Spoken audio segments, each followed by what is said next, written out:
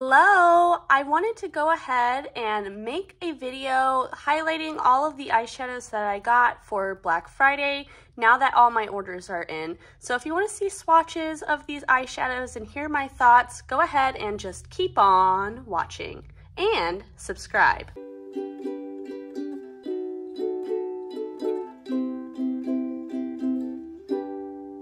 I actually just filmed a whole video going over my Looxi Beauty order up at the top up here. So I'm actually not going to swatch those today for the sake of time. So if you do want to see my thoughts on all of these shades, see swatches, comparisons, all that good stuff, I will link that video in the description. Feel free to check that out. So what we're actually going to start with is my lethal order. So I am kind of sad. I had a video filmed where I had built a lethal palette because I was considering doing a Black Friday order, but I wasn't sure. And I was going to talk about whether or not I had like shades I thought were similar to the palette I built, and I lost that footage. So you're not going to be able to see that but I will tell you about what I did end up getting from Lethal. Decided to do a build your own palette because they were doing a really good deal on building your own palette, but I wanted, I didn't want 12 eyeshadows. I knew that. I knew the ones that I wanted, and so I knew I didn't want 12. But I also, the only nine pan that they have is like the type that has the square pans built in. And I don't love that because I have so many circle pans and I feel like that means I can't use the magnetic palette as much. So what I'm trying to say is I destroyed the palette. I cut out the like boxes that, you know, keep them square pans on the inside. And I need to like clean up the edges a little bit more, but I'm really happy with how it turned out. And interestingly, I can fit 12 circle pans in here now. So that's kind of fun. And then these are the shadows that I put inside of the palette. This was kind of my redemption arc for Lethal. I have one order from them from the past and it was fine. It didn't like blow me away. And so I was like, okay, I'm going to try it one more time and, you know, see how it goes. And honestly, I feel like I've learned Lethal just isn't my favorite brand, although I will say I am happier with most of the shimmer shades in this than I was with my initial order last year. As promised, we'll go ahead and get to swatching. This first shade is Mercredi. I think I'm saying that right. Uh, it's one of the ones that they did in collaboration with like an animal shelter or something like that, I think. And it's supposed to have like a marbled pink in it. I don't really think that that impacts the shadow, and as I've swatched it and been using it, I feel like it's kind of disappeared. But at its root, it's kind of one of those like green brown duochromes. Although I will say, I did swatch this in comparison to all of my other shades similar to this, and none of them have the same flip. So I was pretty happy about that. And I feel like it does have a really nice shine to it, and there's a very clear duochrome. So I really like that one. Next up, I got the shade Rise from the Ashes, and I have a black, like glittery type of shade from the Friendcation palette that came out a long time ago, but it's getting old and I love the idea of having a shimmery black. And so I figured I could replace it with this. Although I will say this is like their old formula and it definitely shows. It isn't super shiny at all. It kind of looks more like a satin when applied. So it's not quite what I expected based on the swatch photos. But, uh, you know, you live and you learn. So that one, probably the only dud, complete dud out of the nine pan. But still, one out of nine, not great. Next up is the only like full multi-chrome I got. This is the shade Singularity. And I will say it is a very strong multi-chrome. It's got a cool purple base with like a teal and green and gold and kind of like an orangey gold shift to it. It is really pretty. I do feel like I have similar shifts in my collection. Dupe video coming soon. And this one was kind of expensive. I think if I had gotten it at full price. I think it's like $16 or something like that. So it's kind of pricey considering that I have others similar to it that are less expensive. Uh, but I will say that the formula on it is nice. I'm not sure if you can see, but it is pretty sparkly. Lethal always does a much finer sparkle than kind of like the thicker sparkle that you might see in some of these Looxi shades or Terra Moons or something. This one definitely like as soon as I swatched it, I was like, oh wow, that is very sparkly for lethal. So I like that one. Next is the shade Twilight, and this is a newer shade from them, and I thought it was going to be really sparkly based on the swatches. I don't feel like it is as much in person. It's really thick feeling, you know, it's very opaque and there is some sparkle to it. It just isn't quite what I expected, but I am happy to report that the color is unique for my collection, so I am happy about that. And compared to the previous shimmers that I have from Lethal, I do feel like this is the better formula. The next two shades are shades that they released for their new palettes that came out on Black Friday. The first shade is Ethology, and it's very similar to something like Vela from Devinah. So it's got a yellow base with a green and pink flip to it. Again, we've got that really fine sparkle, but it definitely is sparkly and I do like it. I again, for Lethal, this is like their more sparkly formula, but I did swatch it next to Vela when I'm like was prepping for the dupe video coming up and I feel like that one is sparklier in comparison to this. They consider this a multi-chrome. So this one full price is I think $9 and I'm pretty sure the one from Devinah is $8, but I also feel like Lethal is much easier to order from, so take that as you will. The other shade I got is Queen. I've been looking for some yellow golds in my life because Stacks, I think Stacks might be done for from Looxi, which you know was a recent love, uh, but it broke. And so I've been looking for replacements. And this is pretty, definitely not as sparkly as Stacks, but it is a really nice yellow gold. And to round out the palette, I got three mattes. I tried to pick colors that I thought would be unique Two of them are, the green is a little similar to other things I have, not exact, but close enough that I didn't need it, if I'm being honest. Uh, I got the shade Onset, though, and this is a unique color for me, and I'm really happy to have it because I feel like it's a color I've been missing. It's a very dusty, light pink. There is something almost a little purple about it, and I really enjoy that. I've been using it as a transition. I used it for this shade when I wore this on my eyes. I've used it for a couple of other things that aren't here, but I've enjoyed it. The next shade is Relapse, and while I'm swatching this one, I will note that the Lethal matte formula is consistent with the other mattes that I have from them, and I do enjoy the matte formula. I don't think it's as like amazing as some people do, but I do think it's a pretty nice formula. And then lastly, I got the shade Insomnia, and I do feel like this one is a unique blue tone for what I have. I don't have a ton of blues, so I was happy to add this because I feel like as I'm building palettes, oftentimes I'm like, oh, I wish I had something exactly like this, and now I do. So this is my Lethal Cosmetics Black Friday order, all swatched out. I would say overall, I'm happy with the purchase because it's one of those things that I would have always been thinking about this brand if I hadn't done it. And so to get it for a sale and like get to try it out one more time, I'm glad I did it. But I don't think it's a brand I'm going to be purchasing from in the future just because it's nothing super special and the build your own palette thing I do anyways. And so that part isn't like as, you know, unique for me as it might be for other consumers. But I am happy with the shades that I got except for this black. Next order that I did was from Copacetic Cosmetics. I decided to pick up just a few shadows that I had had my eye on. The first is the shade Centennial Wheel. This is a multi-chrome. It's very, very flaky. And this is an exact dupe for Flare Star by Terra Moons. Again, video coming soon. I will say I found like this one sticks to my finger a lot when I try to swatch it out, but when I put a glitter glue on my eyes, I feel like it gets on my eyes and it looks, you know, fine on my eyes, which is what really matters. But look at that. Isn't that so pretty? Next up, I decided to get this flaky shade called Splendor. It's a really pretty, like, deep brown base with a golden flakiness to it. I really enjoy it. Um, it is that like flaky texture that copacetic often does.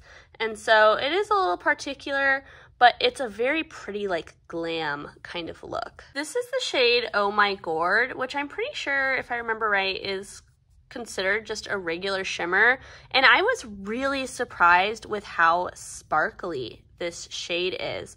Normally I feel like the regular shimmers from Copacetic lean a little bit more just like regular metallic, but look at that sparkle. Oh my gosh, it's like a gold with a green sparkle. Honestly, that one might be my favorite shade in the whole order, but this next one is Silenzio Bruno. I think it's a Encanto reference, which is kind of fun, and it's an interesting shade. I thought it was gonna be a little bit more taupe, but it is pretty silver. It's got like almost a taupey, gray, purple kind of base. It's really interesting with a silver sparkle on top.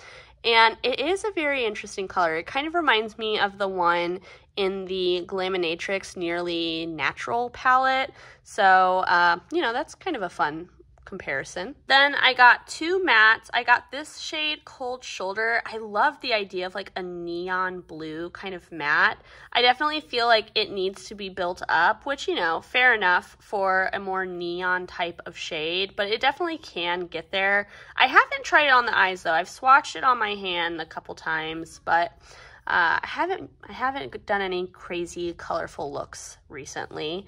Then I also got the shade Luca and it's really pretty. I wanted a neon kind of green, but I realized I kind of played myself because I got this and then I got this shade down here from Menagerie, slight spoiler for later. Look how similar these two are. Now, why did I do that? I honestly, I did that because in the swatch photos, this looks very different than how it appears IRL. So I didn't think that they were going to be dupes, but I duped myself in the same day of ordering. So Oops. Other than that last shade though, this is my Copacetic Cosmetics order and I'm really happy with it. They were doing a really good sale and I'm glad that I added these shades to my Copacetic collection. I also placed a very small Terra Moons order for Black Friday. I got six shades and I got this shade, Cerise Waves, which is a metallic red. I didn't have any true metallic reds, and so again, it was kind of filling a hole that I feel like when I'm doing BYOPs, I'm missing a lot. So I'm really happy with that one. It is a very bold red. It, I would say, they say it's a true red, but I think it does lean just a touch pink on the scale of orange to pink in reds, you know? So take that as you will. Next, I got the shade Harvest. It's one that had been on my radar for a long time, so I finally decided to bite the bullet. It's really just like a golden bronze with a very, very slight green shift to it. And this is another one where I feel like I kind of played myself because I also ordered the shade Burnt Toast from Looxi. And let me swatch these on my hand for you really quickly. Look at how similar these are.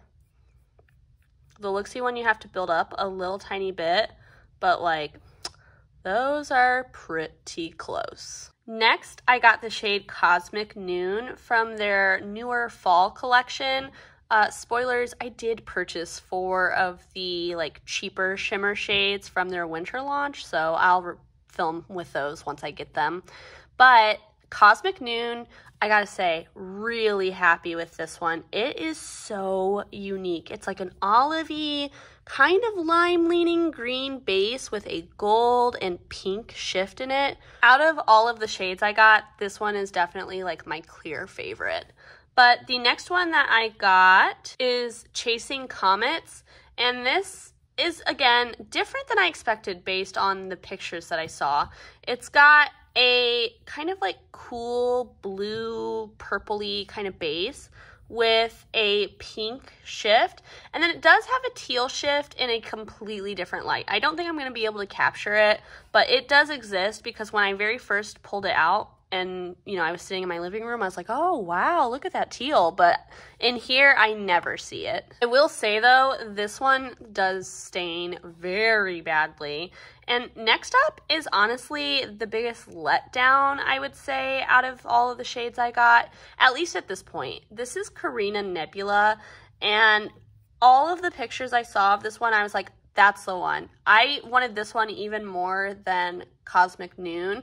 And I just feel like it's not very shifty and it the color of it doesn't look anything like what I have seen online in everyone's swatches. And I don't know. To me, it's similar to, I think it's called Tidal Flare, maybe, but I feel like Tidal Flare is the shiftier version, and so if you're gonna get one of them, just get that one. And then I did pick up one more matte shade from them. If you don't know, I really like the Terra Moons mattes. This is the shade Beetlejuice. It's a very vibrant orange. I feel like they are have changed their matte formula, and now they're more firmly pressed. So it it's different than the older shades I have, like Twilight and Fourth Dimension and stuff like that, but it still is really nice and very vibrant and true to pan, and I do really enjoy this color. You know what, let's just go ahead and round out these swatches on the arm altogether since there are so few. I had a very tiny menagerie order. These are three shades that I wanted when I placed my last menagerie order, but they were all out of stock. And so they were all in stock. And I was like, you know what? I'm going to do it. This first shade is Koala Hugs. And I will say, I feel like the shimmer formula from Menagerie has definitely changed from when I got Animal Kingdom and the square pan to when they switched over to the circle pan. And I don't think I like it as much. Uh, I just feel like it's not quite as impactful as Animal Kingdom and Turtle Club and all the ones I have in the square pan are. This is a kind of taupey, warm, maybe even brown base with a blue and pink sparkle, but it's a very subtle shimmery sparkle. This next shade though, I'm really happy with. This is the shade Drought, and this is like the exact yellow I have been hunting for from brands. Like this light pastel, not too, you know, green leaning, not too orange leaning, just a really nice yellow. I really, I'm very happy about that one. And then last, as I showed you, I got the shade Flipper. And again, I feel like this one isn't what I thought it was gonna be based on the pictures. In the pictures, it looks much more of like a yellowy green, whereas here, it's much more blue toned and it's not nearly as pastel as it seems in the pictures. To show you all of these shadows one more time, then I'll wash off my arm and give you my thoughts about my Black Friday purchases. Overall, I'm pretty happy with my Black Friday purchases. I feel like for the most part, the shades I got, I do enjoy. Uh, really happy with all of the Looxi stuff I got. As I said, happy with most of the lethal stuff I got with the exception of this one, but I just don't think it's a a brand that I'm going to be looking out for in the future, but I'm glad that I tried it out one more time because I never would have known that if I hadn't, and it would have been something I kept thinking about. And I don't need it to take up my brain space anymore, so I'm happy about that. I would say out of all of them, the only more impulse one was the Copacetic cosmetics order, but they were doing a really good sale and these are shades that I have had my eyes on, so I was happy to add them to my collection. And I'm glad that I was able to kind of censor myself and not make way bigger of an order just to like say I did it, you know, because oh, they're doing a sale.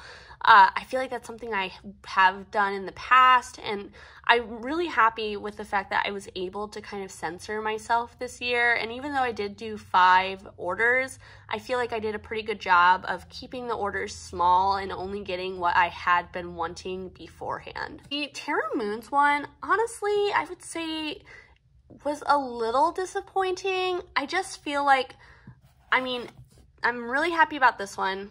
Happy about this one because it fills a hole and it's exactly what I expected it to be. Happy with the orange, although I don't know if I love the new matte formula as much as the old matte formula. But then these other three, I feel like I probably could have lived my life without. This one because I got a dupe of it, you know, at the same exact time.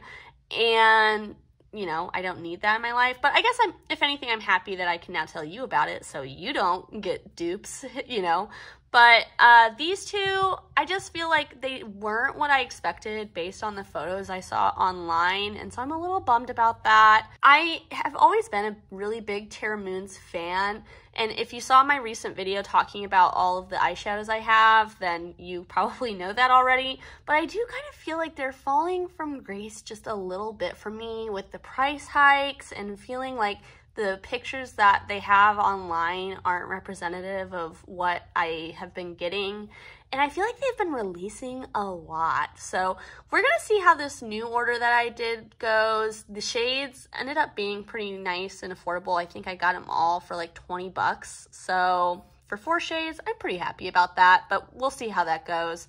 That's not what this is about. And then the last order, kind of like what I was saying with Lethal, Menagerie is one I've been like going back and forth, like, I don't know, do I like it? Do I not? And I feel like this confirmed for me, like, this is a brand I don't really need to be looking out for anymore. I am really happy to have the yellow, but the other two aren't quite what I expected based on, you know, what I had been building up in my head. Let me know though down below, what did you get for Black Friday? Did you make any purchases? Were you happy with what you picked up? Are there any regrets? I would say overall, I don't regret any of my purchases because these are things that had been on my mind and I would have hated to have paid full price to try them later when I know, you know, myself and I know I would have at some point.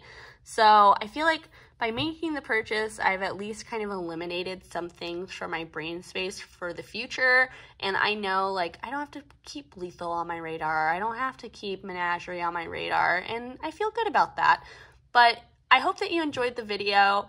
Uh, I definitely don't want to try to justify overspending. I'm happy that I was able to kind of keep myself censored, but I know for some people this is a lot to pick up. So, you know, we're all different, and I hope that you could at least enjoy hearing my experience with Black Friday shopping this year. Until I see you next time, I hope that you stay safe, stay healthy, stay happy. Bye!